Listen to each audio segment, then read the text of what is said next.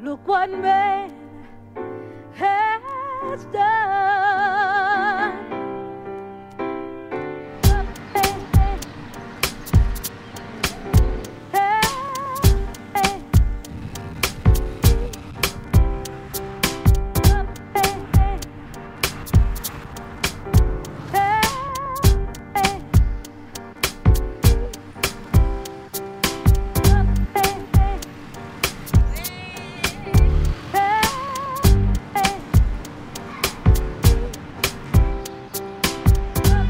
So we are here again in Havana to celebrate the 9th International Cocktail Grand Prix of Havana Club. Uh, 40 competitors from 38 different countries have gathered in what is the birthplace of light rum. The process uh, is fairly simple.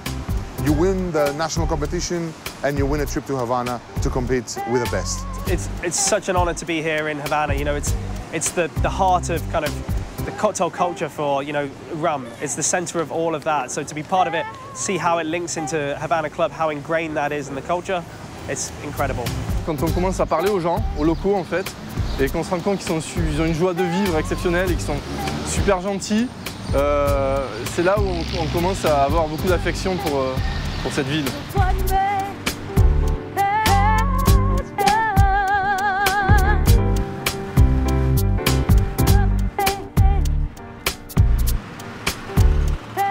Want to represent the Swedish flag, the, the Swedish colors. So we're, we're both competing as a team, but of course we're rivals as well. Both me and Jacob drinks, uh, it's really good. Uh, of course mine is a little bit better. If it's only up to two of us, then anything is accepted. What is a bartender? That's the question, and that's what we're here to find out. Drinks quality is rising and rising and rising all over the world. It's not really just enough to make a well-crafted cocktail. It's about embodying the spirit and hospitality and care and craft of what a bartender actually is.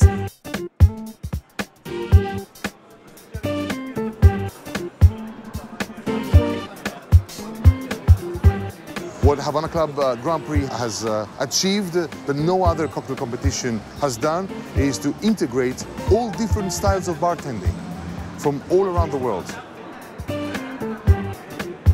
Exceptionally, this year we decided to allocate two places uh, for the semi-finals, uh, two random people from around the world who would uh, be selected through their drinks. So for this, we set up a contest in, um, on Facebook uh, a special page. What was more surprising, though, was the quality of the recipes that we received. We found that the most interesting drinks came uh, from a participant from Sweden, uh, one of the two, and uh, a very young gentleman from uh, New Zealand. Coming from a family of bartenders, it's pretty amazing to sort of uh, hear so much about Cuba. I've studied a lot about Cuba and its cocktail history. I, I've I have three or four really old cocktail books from La Floridita, uh, de Medio. I've got a couple of original books from there. To go from reading original books to being in that bar, drinking that cocktail is, it's, it's amazing. It's, it's just like reading a book on the moon and then being on the moon. Ladies and gentlemen, welcome to the 9th Havana Club International Cocktail Grand Prix.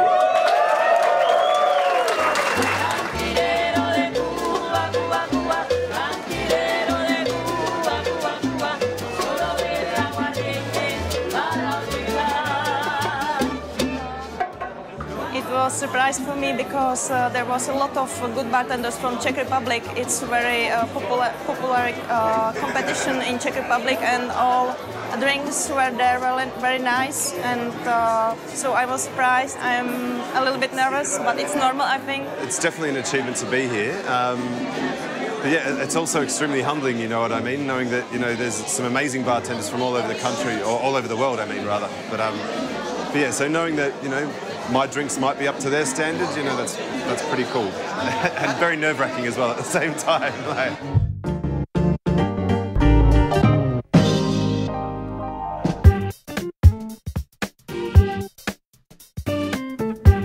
Now we're on our way to go and see the competitors at the Sevilla Hotel. Start a long day of tasting great cocktails. Are we going up there? The original iconic bars in the whole of the history of rum. We're in front of Hotel Sevilla, a hotel of significant historical importance. This is where the first bartending school uh, in Cuba opened its doors. And until today, bartenders, in order to be called cantineros and get their license, they have to get trained in the school uh, next to Hotel Sevilla. And some of the most important uh, classic Cuban cocktails were invented or developed here.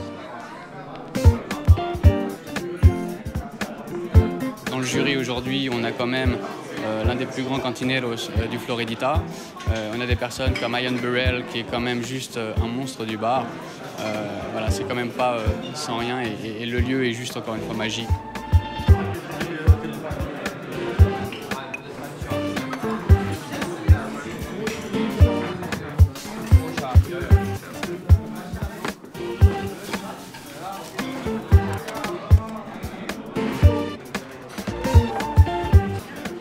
Else has got some pretty big, elaborate kind of things, so I'm just going to nut my stuff out and we'll see what happens.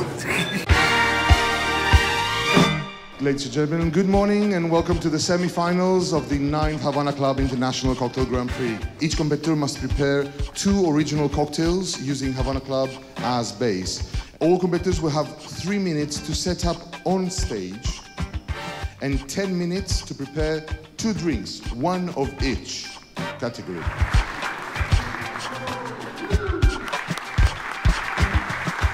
It's tough being a judge on over here as well because there is so much passion from the bartenders. All the bartenders who come here really want to win. But for the ones that you have to unfortunately, you know, kind of send away as such, it is kind of heartbreaking in a way. You've come all the way to Havana, which is a mecca for bartenders. And to, to tell them that that dream is over, I suppose, is a bit sad in a way.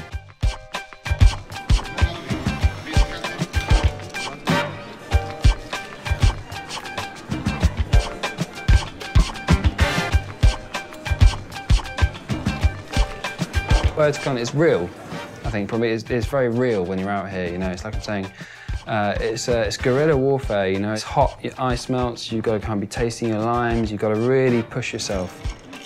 Um, you know, and, and for me, kind of like you know, and you've got the judges are just some of the you know the most in- incredible people.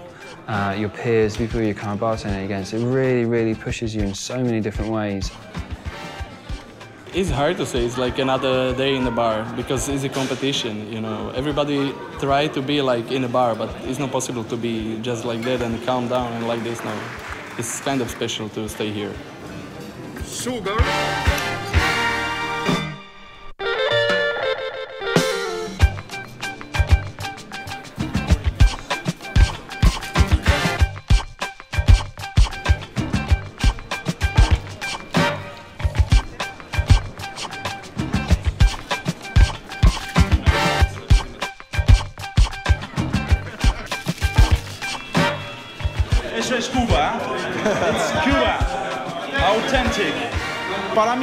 No, fue, no es cuestión de ganar, es cuestión que el cliente, que en ese caso ha sido el jurado, que disfrute, que vea una sorpresa, que se sorprenda, que tenga una experiencia única.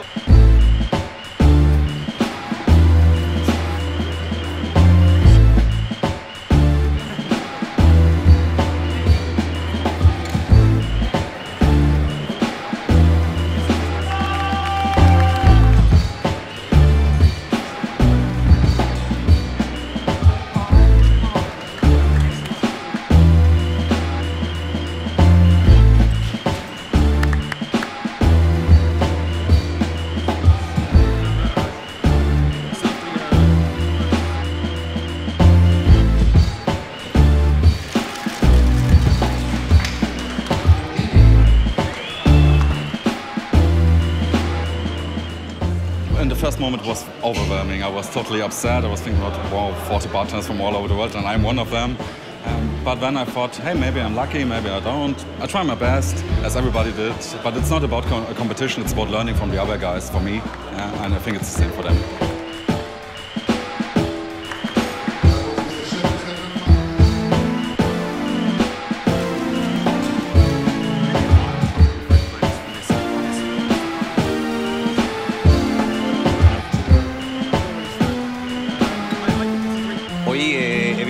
Muchas versiones de cócteles cubanos eh, interpretados por barman de otros países y han hecho su, su versión eh, del mojito, del daiquiri con eh, diferentes frutas y han mezclado y, y lo tomas y está bien, está muy bien y vendría muy bien incluso aquí en el trópico que hace mucho calor, eh, eh, variar algunos cócteles y hacerlos muy afrutados, muy refrescantes y mezclándolo con el ron Habana.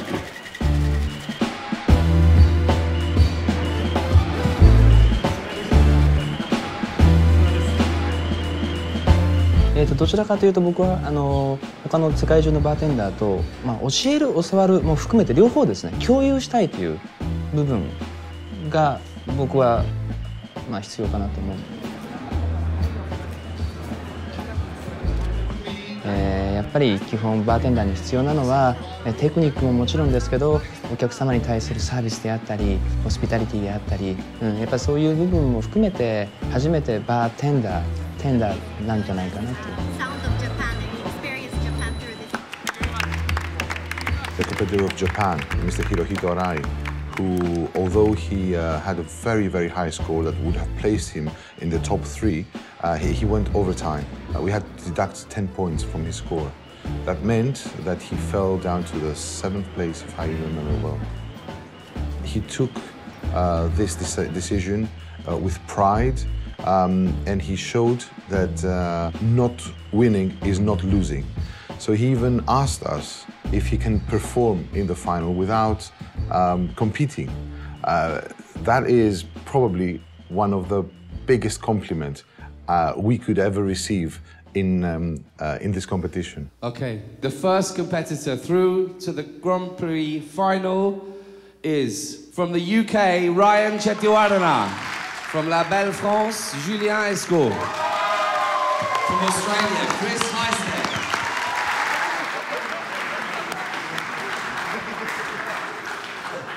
Ryan, his drinks are amazing, and, and from what I saw of him from France, he was unreal as well. So it's just, um, I don't know, it's a worldwide comp, and knowing you know you're in the top three in the world is pretty, pretty incredible.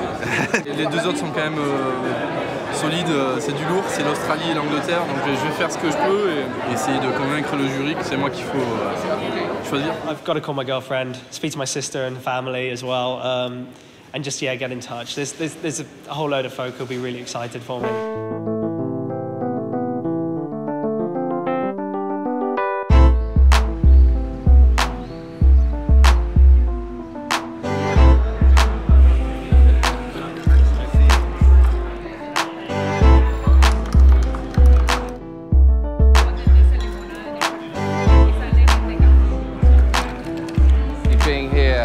In Havana, it's, it's, it's always felt very much like a pilgrimage in all forms of art, cinema, uh, music, and most definitely upmost with all of those crafts is cocktail. Cocktail craft, the heritage and history uh, of the Hotel Sevilla, of Bar La Florida, now Floridita, Bodeguita del Medio, and many, many others. It's extremely exciting and important uh, that a co- competition of this level is held in this city of origin.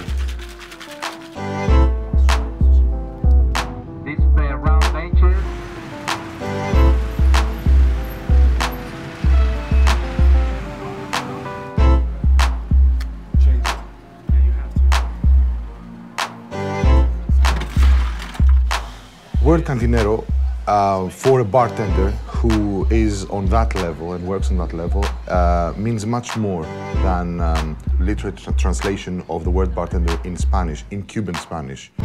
It is an ideal. It conveys a message. It conveys a, um, a style of uh, performance, of ingenuity, of skills, but more, most of all, and that's what we wanted to, to explore and share with the guests here, is that um, it speaks of humanity. Mon bar est un, un hommage euh, à, à toute cette histoire. Je travaillais tous les jours et les gens me disaient Ah oui, euh, Papa Doblé, Mingwe, t'as été à la Floridita Non. Ah, tu devrais y aller. T'as été à Cuba Non.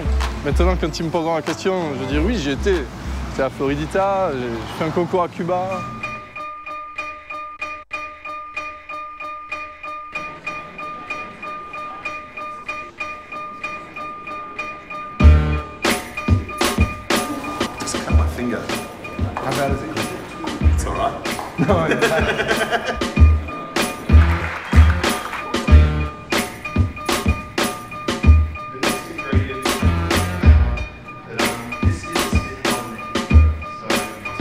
Shift a little bit difficult. I had to kind of change my technique that I was using and, and, all those kind of things. But I just wanted to make sure no one had any thumb in their drinks, so I thought it was probably for the best that I wore a big plastic glove.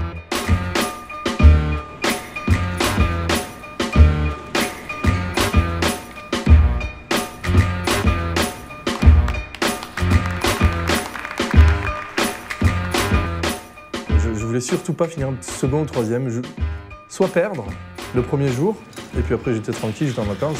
Soit si j'étais là jusqu'au bout, il fallait que je gagne, parce qu'on ne se rappelle pas du second. His drinks were very universal. They were ingredients that you could source anywhere, um, and, and mine, you know, they, they were all homemade essentially. But what I really wanted to do was I wanted to reflect my bartending style. Some of the products that you can really find here, just mystery bag. So just a quick shake. Si j'ai regardé l'anglais euh, faire son passage, Ryan, qui paraissait très à l'aise et qui parlait énormément au jury. Et, je me suis levé et j'ai quitté la salle. Et il y a Aude Vernier de chez Pernod, euh, euh, je sais pas, qui a dû capter quelque chose et qui est venu vers moi et qui, m'a encouragé, qui m'a dit euh, oublie, oublie ce qu'il est en train de faire, euh, fais ton truc comme tu sais faire, place tes blagues, va, va, va au bout de, de- de ta démarche et tu vas voir, ça va le faire.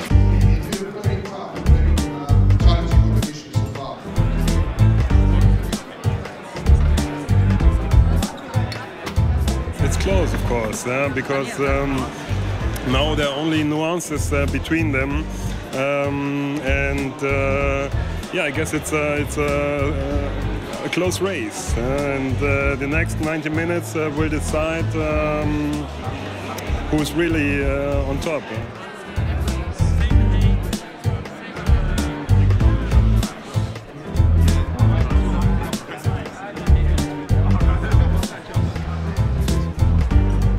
This is why I thought the competition was so strong because you had an opportunity to see what we're like behind a bar, and that's really what it boils down to. Um, and it was, I had so much fun with Chris because I think we've both got a kind of similar attitude. We've got a nice kind of like love of the way, the, you know, quite a relaxed bartending style.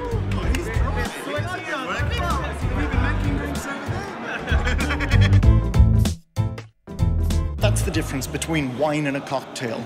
With a bottle of wine, the magic happened 10 years ago in France. With a cocktail, that magic is happening right here, right now in front of you. Ladies and gentlemen, silence please. Your winner and the world's winner, Monsieur Julien Escot, La Belle France. Champion du monde euh, du concours Havana Club, c'est une très belle récompense. C'est- un beau titre pour moi, pour mes clients, pour mes amis, pour euh, mon équipe, euh, pour la famille. c'est très valorisant. The drinks were 150 points out of 250, so where's that other 100 points?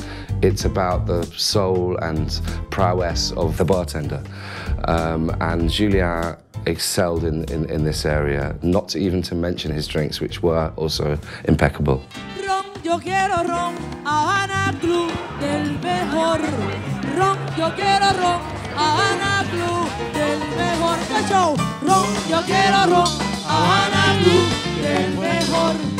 Ron, yo quiero ron, Habana Club del mejor. Ah, ron, yo quiero ron, Habana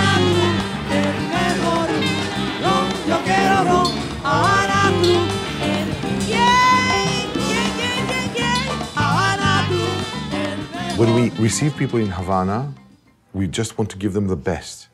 And the reaction that we receive, their love. I've, I've never seen so many hugs in any other competition, any other uh, hospitality event in the world, really. And actually between strangers, people who, who barely know each other for one day. This is where pure joy comes from. Buenas tardes, mi hijo. ¿Qué tú estás buscando aquí? Ay, padrino, yo estoy desesperado, padrino. Yo vengo a verle a usted porque me dijeron que viniera para ver si usted tenía la solución para mi problema, padrino. Aguántate un momentico ahí. Porque lo que no te puede coger es la pandemia. ¿Qué pasó? ¡Ay, qué voy a hacer con mi vida! Padrino, quítame